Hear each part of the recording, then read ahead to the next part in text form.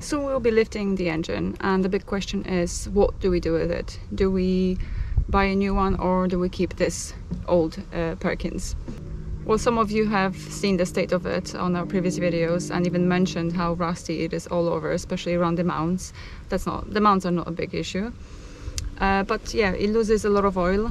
It also burns uh, too much oil, and the smoke it leaves behind. It's uh, uh, quite embarrassing actually at times.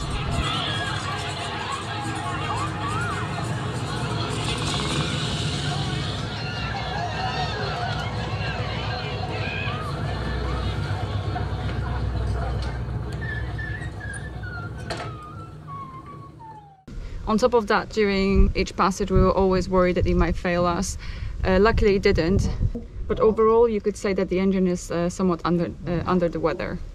The idea of a new engine uh, sounds great. I'm not going to lie. There are companies out there um, offering brand new engines uh, with gearbox, new panel.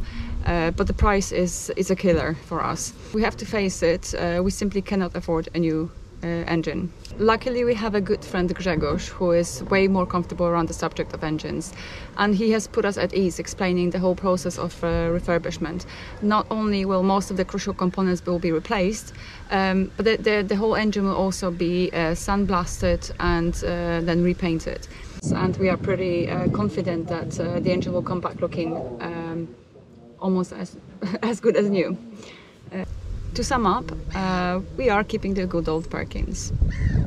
But the engine will be refurbished abroad, not in the UK. Uh, Grzegorz, uh, our friend, he's got a trusted mechanic who has worked on these types of engines for many years. Uh, the only issue is that he worked on those ones that were fitted in tractors, not uh, the Marinized version, but um, I guess it's not rocket science and he will get to the bottom of it uh, very quickly. You might be thinking now that uh, we are crazy doing that. We could obviously get it done here. And yes, we could, uh, but in order to keep it, the price uh, tag as low as possible, and also leave it with someone who is um, someone you can trust uh, to do a thorough job, we are sending it to Poland just for those reasons. Oh, and there's one more thing. Uh, there's one tiny obstacle associated with uh, sending it abroad, and that is Brexit. As you know, UK is no longer in EU, uh, where we plan to send the engine. I have to say it's kind of giving me a headache uh, for some time now because I've spent like a couple of weeks uh, trying to find out uh, how we go about uh, sending something abroad and so that we don't pay customs uh, when the engine returns back to the UK. And that process is called, for those who are interested, uh, outward processing relief, so OPR for short. That applies to things that are being exported only temporarily out of the UK for uh, repair. We do realize that uh, we are potentially opening a can of worms here with the whole engine rebuild. But like I said, um, we cannot afford a new engine right now, so we need to take the risk. Uh, we really put all our hopes into this engine running smoothly for another 40 years or so. Well, smoothly might be a bit of an exaggeration, but I think only time will tell whether this was a good or a bad uh, decision. Okay, but obviously before we send it, we need to hold it out first. Uh, I think we are extremely lucky in the fact that um, we have the opening in a uh, cockpit uh, floor, which is right above the engine. So that should be pretty straightforward. Uh, the question is, will the engine come out in one piece or will we have to take it apart? Now that's what we need to find out today. Um, the day is a little bit overcast. Um, I just hope it doesn't rain too much because obviously we'll be opening a cockpit area, but it should clear out uh, soon. So yeah, let's get changed, let's get ready and get on with it.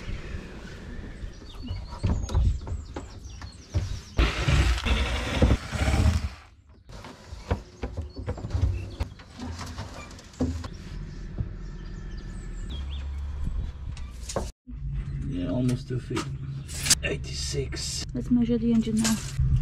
Yeah, some of the parts we'll have to remove. Is it? Three feet. Definitely we have to remove alternator. Mm -hmm. And I think this heat exchanger as well. Mm. I'm not liking the sound of it, but it is what it is. I mean, still, we have to be grateful that we've got this access. Can you imagine actually trying to get it out through the companionway? No. Crazy. So I think we should be grateful for what we've got.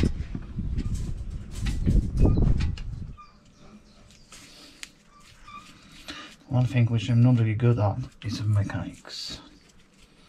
Engines. They scare me. Before any parts are disassembled, we drain coolant first, followed by the engine oil.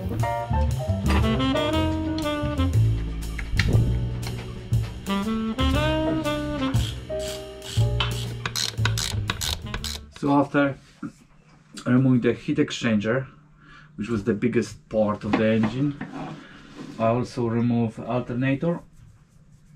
I think I have to remove all of that part here, which is an exhaust, and part of the oil system.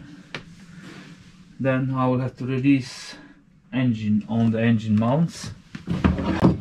When that's done, and when we have something underneath the engine to lift the engine up I have to remove those engine mounts from engine body and then we'll have enough space to lift it up what I did found in here I didn't even I just touched that one so And it came out. look on this one. There is no there's nothing there. There's nothing there holding this. It's coming into the fall so the thread it's completely gone. It's nothing there.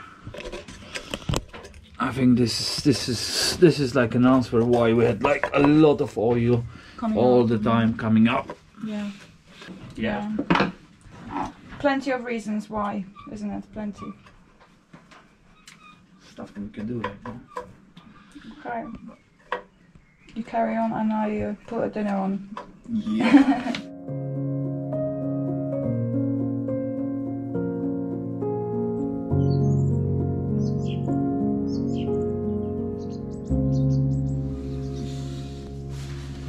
So after a whole day playing around, taking bolts out from the engine, it's time if I will see if I can move the gearbox. So for so for this I'm going to use a very precise tool, Crowbar. crowbar.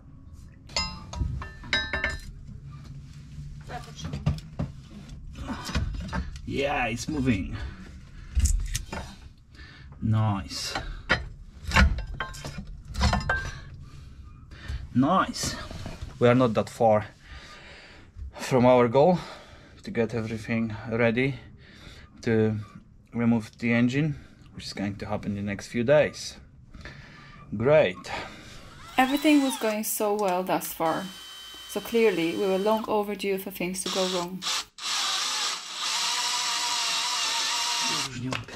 The biggest problem uh, was this one here.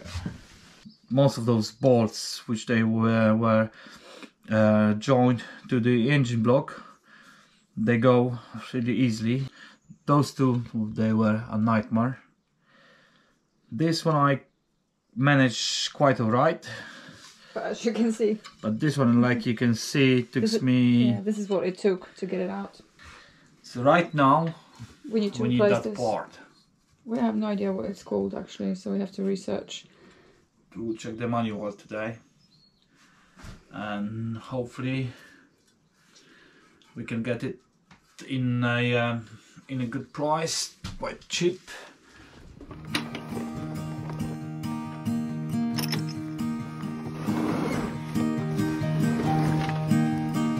High five! high five High five.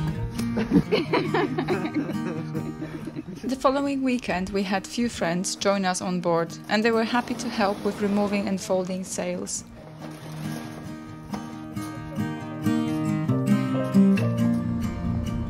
We then removed boom on both masts, and of course, the weekend wouldn't be complete without some more sanding.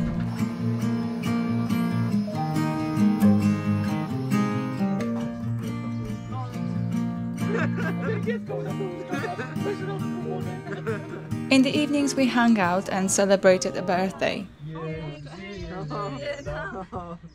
Because sometimes you just need time to relax, and that's okay too. resztki parszywego dnia Całą noc w gardle pali ogniem Wczoraj. Wczoraj. Nie liczy się. I teraz wszyscy razem Ojej. Anioły bieszczadzkie, bieszczadzkie anioły Dużo was radości We want to say a big thank you to all that are following us here and also welcome to our new subscribers. We hope we inspire more of you to join the ever growing community of boat owners. See you next time.